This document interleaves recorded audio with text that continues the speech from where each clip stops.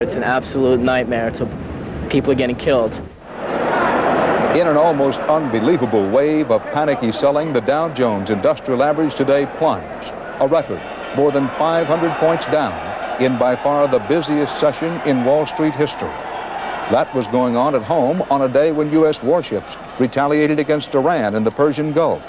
The uh, Iranian platform at uh, Rashidat, also is called Rostam, was uh, destroyed this morning by United States naval gunfire. No, we're not going to have a war with Iran. They're not that stupid. Good evening. This is the CBS Evening News. Dan Rather reporting. The extraordinary, if restrained, action taken in the Persian Gulf early this morning was overshadowed through the day by scenes such as Wall Street has never witnessed, as the Dow Jones Industrials took off on a fear-fed free fall to close down a record 508.32 points. Panicked traders worked through lunch hours in a desperate but losing attempt to keep up with tickers that rolled up an all-time high volume. CBS News business correspondent Ray Brady looks at this devastating day for the market.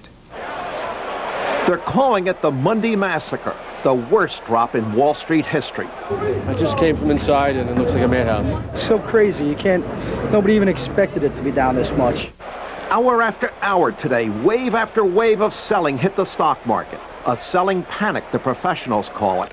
By the closing bell, the Dow Jones Industrial Average was in the steepest fall in its 103-year history, down more than 500 points. The volume of trading was way beyond anything ever seen before. Well, if you had any kind of objectivity, even if you lost tens of thousands of dollars, you know, you could find something, yeah, it was fascinating. The way sometimes a bloodbath is fascinating. In San Francisco and Los Angeles, the stock exchanges closed early, unable to handle the flood of sell orders. And in New York, the high-speed ticker tape fell two hours behind. On Black Monday, October 28, 1929, the market dropped 12.8%. Today's loss was far greater, more than 22%. Estimates are investors lost more than $500 billion today. Computers kicked off some selling programs. Also, those stock prices had reached dizzying heights. We've had a great deal of over-speculation. You've had 29-year-olds making a million dollars a year, expecting to make a million and a half next year and two million the year after that. President Reagan said late today the economy is sound. All the business indices are up. There is nothing wrong with the economy. But many Wall Streeters say the big sell-off in stocks was the result of the administration's economic policies, the weak dollar, rising interest rates, and those two deficits in trade and government spending, plus nervousness over the Persian Gulf. On one market, prices rose. Gold was up $10 an ounce. Bad news for other financial markets. Uh, the price of gold is like uh, the price on a thermometer. You can equate the temperature of the world by looking at gold prices. And of course, as the uh, economic temperature of the world heightens, so does the price of gold. Wall Streeters interviewed tonight were mostly gloomy, many of them saying they feel the big sell-off hasn't run its course yet. Dan? Ray, the question everybody wants to know the answer to, is this 1929 all over again? Well, Dan, there's no question that the market today dropped on a percentage basis greater than it did on that terrible day in 1929, so you've got that. On the other hand, we've got a much stronger economy today, and we can only hope that a lot of the regulations that were put in in Wall Street after 1929 will now come to our rescue. Ray, thanks. The fear and bedlam on Wall Street spread like a kind of fiscal flu to stock exchanges around the world. CBS News chief European correspondent Tom Fenton has been tracking the big chill. If we ever needed proof that stock markets around the world are linked in what could be called a global market, we have it now. It was like a chain reaction that swept through the time zones. The storm of selling began this morning in Asia, where the Tokyo, Hong Kong, and Sydney, Australia stock markets all had record or near record losses. The storm gathered momentum as it moved west. European national markets lost between 6 and 15 percent of their value. The Frankfurt market had to extend its hours to cope with what one West German dealer called Black Monday. In London, despite a last-minute rally, the market fell more than 10 percent. One broker said traders panicked because many are so young they have never seen a bear market. Analysts gave a number of technical reasons for the sell-off, but basically, almost everybody here blames the Americans. It's the old adage, when the, the States coughs, the rest of the world catches a cold. We have to go to the problems of the imbalances in the U.S. economy, which we've all worried about on and off for years. Suddenly, it seems as if patience has expired. Prime Minister Thatcher, on a visit to the U.S., had a word of encouragement. The underlying economies are strong and the growth prospects are good. And it is that which matters. The cycle will begin again shortly, Dan, when the Tokyo stock market opens. Japan has one of the world's strongest economies. If Tokyo continues to fall, then Black Monday could well be followed by Black Tuesday. Our chief European correspondent, Tom Fenton. The ticker on the New York Stock Exchange fell so far behind the frantic pace of today's trading that there won't be a final, final figure until tomorrow morning about just how far down it went. But to give you an idea of the kind of day it was, just a few examples. General Motors down 14, DuPont down 18, Procter & Gamble down almost 23, and IBM down 31 plus. Wall Street professionals said that what happened on the stock market today, quote, pushed reason to the background. But what about the reaction among millions of stockholders across the country? CBS News national correspondent Bernard Goldberg was out among them. On Wall Street, they have technical names for what happened today. On Main Street, the explanations, if less precise, seem just as valid. This whole market is a crapshoot. It's just like shooting, uh, shooting dice, you know. This isn't investing. It's high-class gambling. How bad was it for the small investor, for the typical American with some money in the market, a broker in South Florida? They sold everything in sight. I mean, they panicked this morning. They were walking in with stocks uh, certificates. Just wanted to sell them, get whatever they can out of them. Mark's down 189 points. It's down 193 now. Volume 333 million. Why are you here watching this? Because I'm watching the slaughter of Monday in 1987. And what about a ripple effect? The crash of 29 took the other markets with it after all. A real estate agent late today in Los Angeles. We're already starting to receive calls from astute buyers saying, are there any bargains out there because perhaps someone has a great need to sell because they've taken a beating in the stock market. So we expect to see a lot of activity. It's called capitalizing on fear, and the worse things got on Wall Street today, the better some people liked it. One investor's crash is another's buying opportunity. I don't believe in selling into panic. In fact, I'm buying today. I think uh, it's a good time to buy. I think it's an excellent time to buy.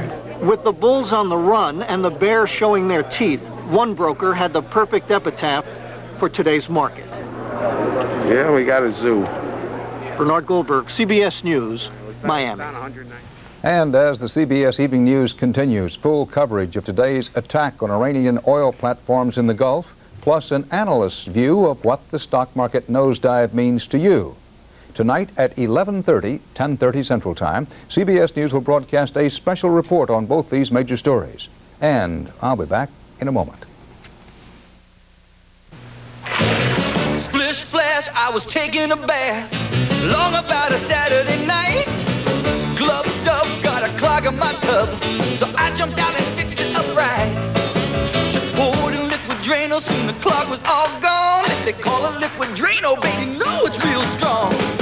Yipe sites and it won't hurt your pipe. Metal pipes or plastic liquid Drano's oh, just fantastic. Now I'm splishing and I'm splashing. Liquid Drano, the liquid strong enough to be called Drano. Today, you need an insurance company that's sure-footed. A company that looks out for you year after year. A company with experience. You need the Hartford. When you need us most, we're at our best. That's the Hartford difference. Folks, it's official. The Big Mouth is now the Fresh Mouth. Thanks to new Super Strength Polident. Now with a minty mouthwash ingredient, so it freshens up dentures as it cleans them. Try new Polident Green for a mouth freshening clean.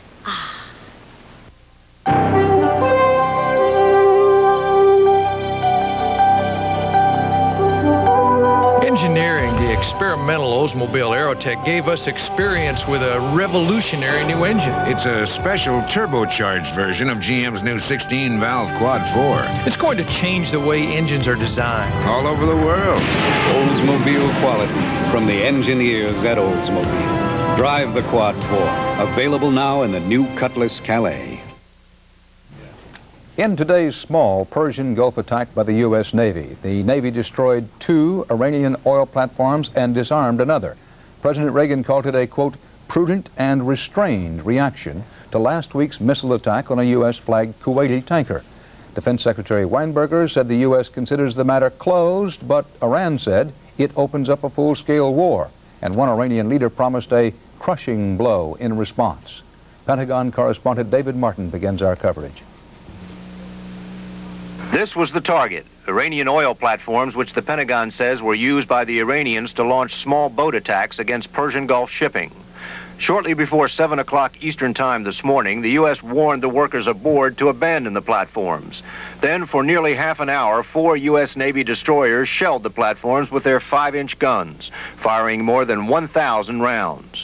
When the shelling was over, a Navy demolition team used explosives to finish the job eliminating a threat to the convoys of American flag ships. It's very close to the convoy route. They've uh, mounted small boat small boat attacks on uh, convoys, and uh, they have also fired on our helicopter from that uh, uh, particular uh, platform. U.S. forces also seized another oil platform about five miles away. Navy SEALs destroyed the weapons and communications equipment they found.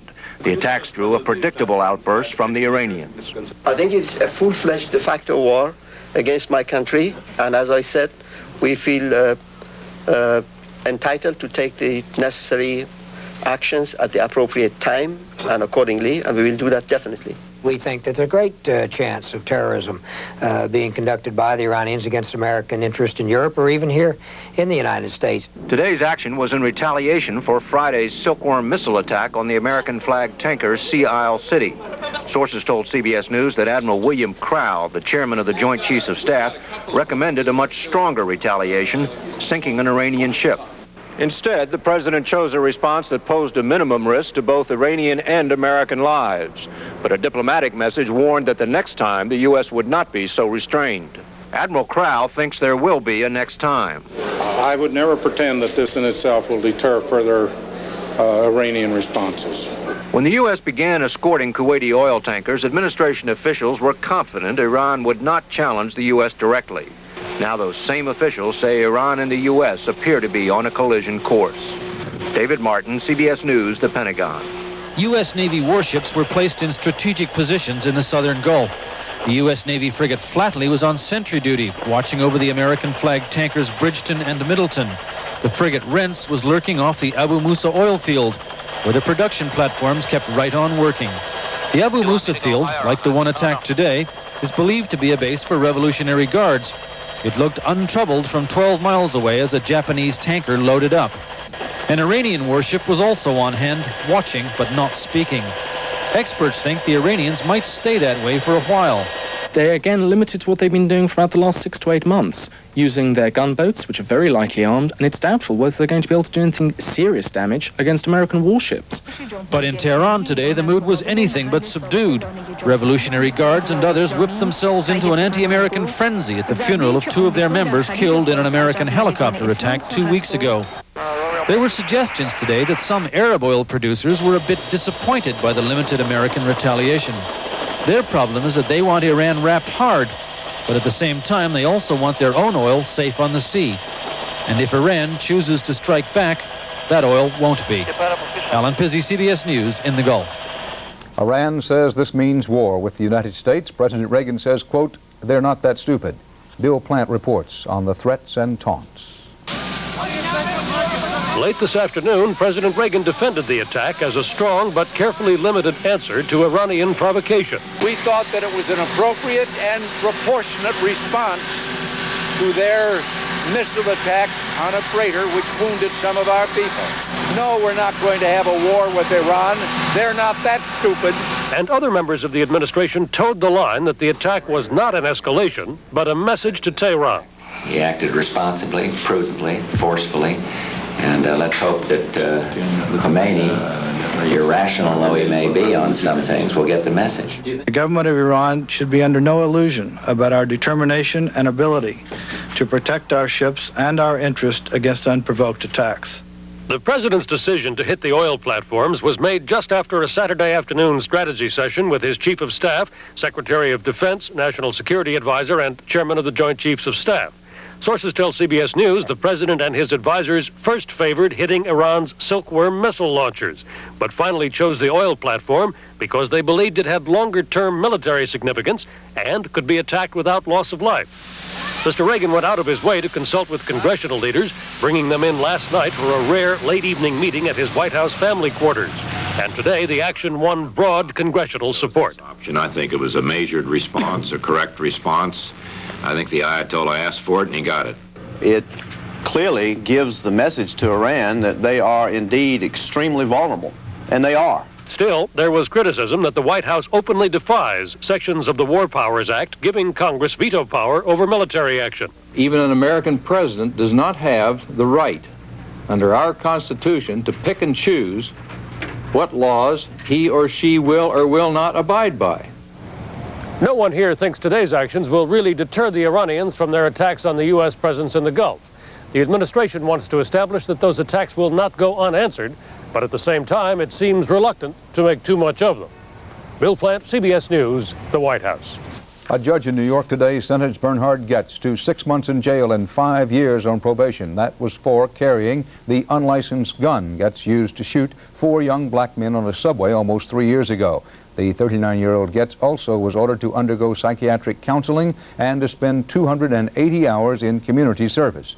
Goetz said he feared the youths were going to rob him on the subway. A jury cleared him last June of attempted murder and assault charges.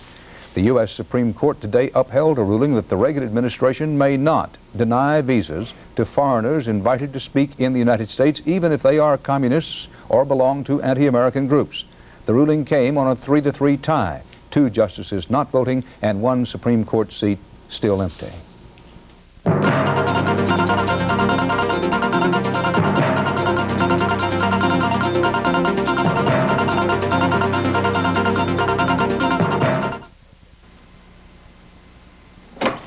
Sometimes it seems like every time you look around, your rug is dirty, especially in those places where people walk the most. Well, try new Woolite Spot and Stain Rug Cleaner. It not only cleans up heavy traffic areas, but because it contains the ingredient Fiberpel, your rug stays cleaner longer than with the other liquid spray. So when you look up, all you'll see is a beautiful rug. Trust new Woolite Spot and Stain Rug Cleaner for heavy traffic areas. It keeps your rug cleaner longer. It's your new telephone from AT&T. It's cordless, has two channels for clarity, and knows you have more to do than just talk on the phone. No, you're not keeping me from anything. And you found it at Kmart. Yes, Kmart, America's favorite store. We love visiting America. Hot chili, barbecued ribs, corn fritters. But it's jolly good you have kaopectate. Nothing relieves diarrhea and calms cramps faster than kaopectate tablet formula. Kaopectate. The diarrhea specialist.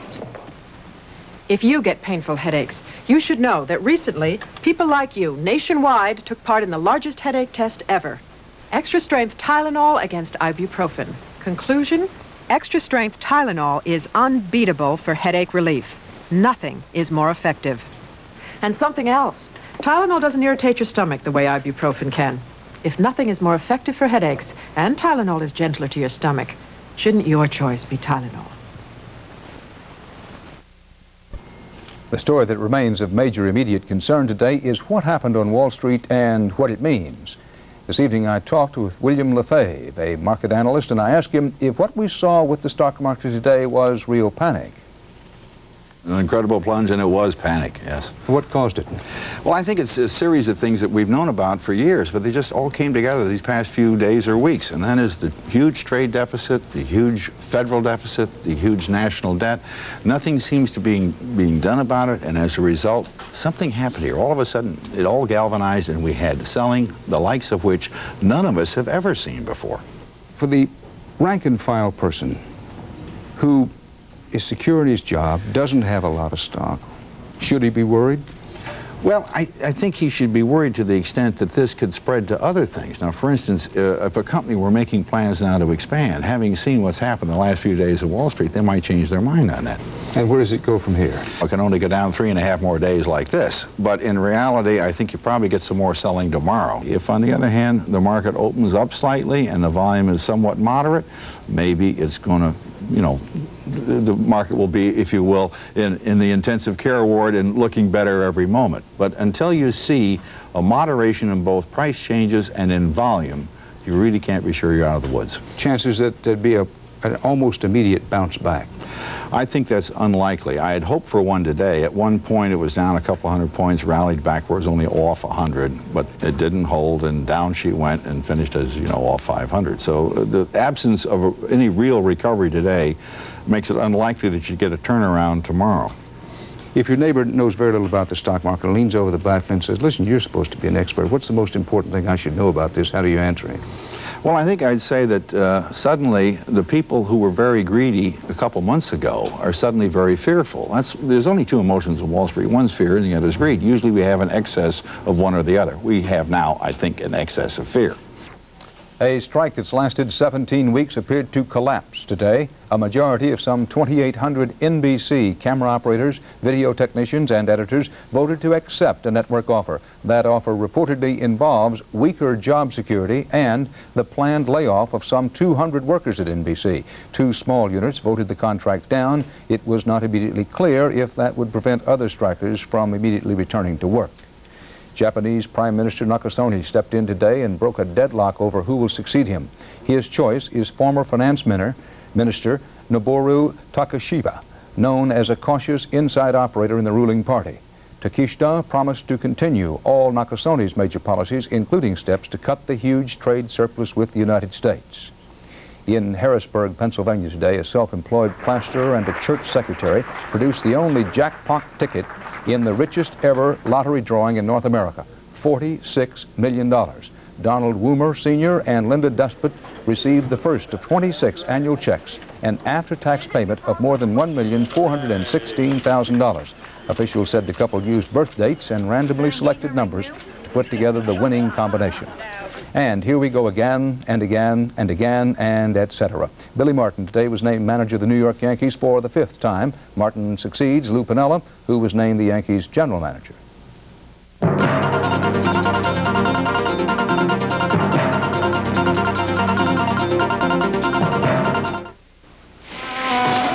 Dad? Oh, Julie, but your hay fever. Well, she hasn't had a sniffle all day. And I'm ready to dance all night. Thanks to research by Dow subsidiary Merrell Dow Pharmaceuticals, millions like Julie may now find relief from allergies without the drowsiness often associated with allergy treatments. You can make a difference in what tomorrow brings. Save me a dance. Cause Dow lets you do great things. A little exercise never hurts, and neither does eating right, especially when it's Sunsweet pitted prunes with yogurt. Rounder, plumper Sunsweet. So good tasting, and so good for you. What's the secret to Pop Secret microwave popcorn? Perfect popcorn popped under perfect conditions. Pop Secret leaves very few unpopped kernels. Pop Secret from Betty Crocker. It's the only way to pop. This is Brother Rice. He hasn't spoken a word in exactly 20 years. Now that's something to celebrate.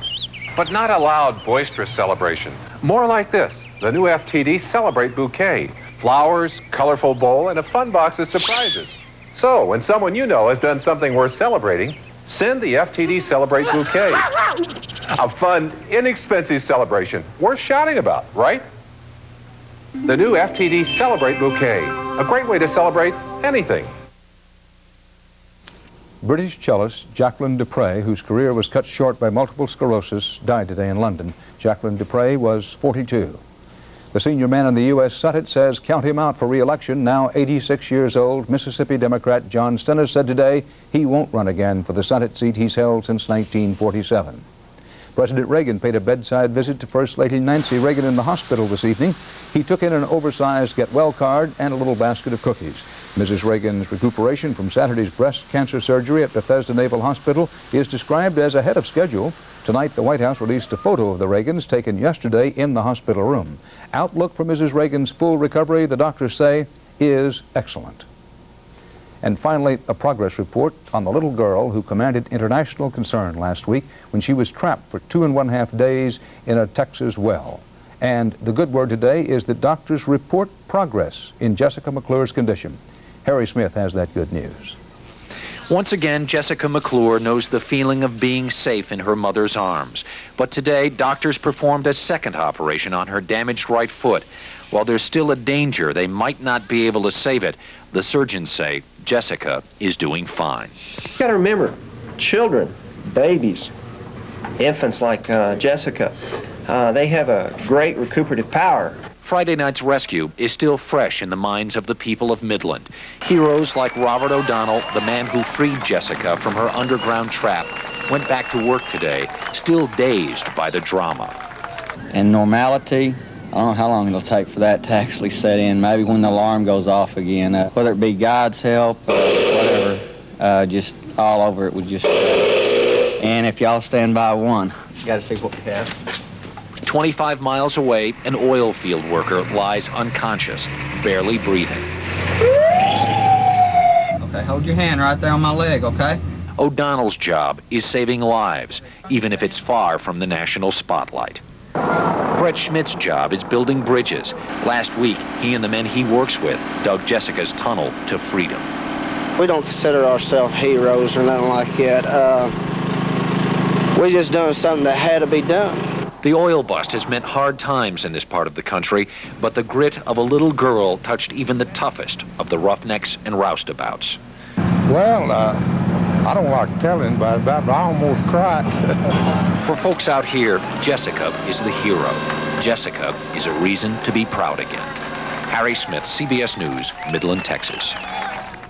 And that's tonight's CBS Evening News. Until our special broadcast on the major developments on Wall Street and in the Persian Gulf tonight at 11:30, 10:30 Central Time, Dan Rather. See you later. X-Lax presents some gentle guarantees. The warmth of the new sun waking the sleep from your body. The cool freshness of the morning air. And now the peace of mind that comes from the X-Lax guarantee. Taken at bedtime, X-Lax is guaranteed to work gently, effectively, by 8 a.m. or your money back. So in this uncertain world, isn't it nice to know you can relax with a family friend?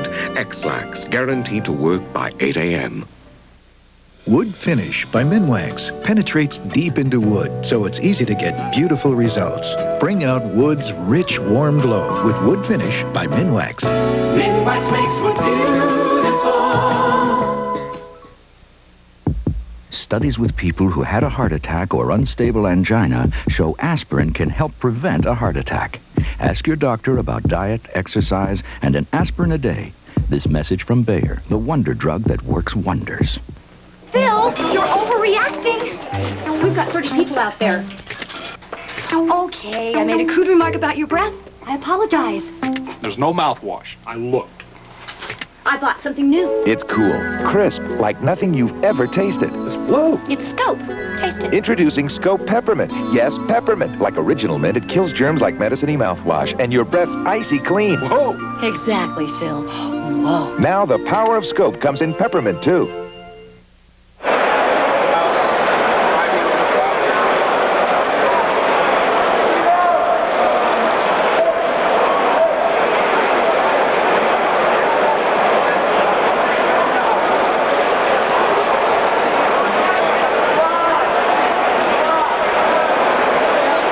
What's behind Wall Street's wild gyrations? Correspondent Robert Krulwich reports on the stock market's frenzied activity tomorrow on the CBS Morning News. This is CBS. If you're looking for that rare brooch, bracelet, ring, necklace, or pin, don't miss our annual estate sale this week at Shears Jewelers. Right now, Chase Lincoln First has millions of dollars to lend, so call and apply for some. But hurry, we're so anxious to lend you the money you need, it's burning a hole in our, you know. Rochester, home of the world's greatest deals on pre-owned Highline luxury cars. West Henrietta Road at Jefferson. People have a lot of reasons for supporting Lou Morin. Here are just a few of them. He works well with local officials. It doesn't matter whether you're a Republican or a Democrat. Morin takes a nonpartisan approach to solving problems. Monroe County is a half billion dollar a year business. It's no place for on-the-job training. Warren has the experience, and he runs a cost-effective administration. He's a good man and deserves re-election. I like him. I trust him. It's as simple as that. Jeopardy, weeknights at 7.30 on TV 10.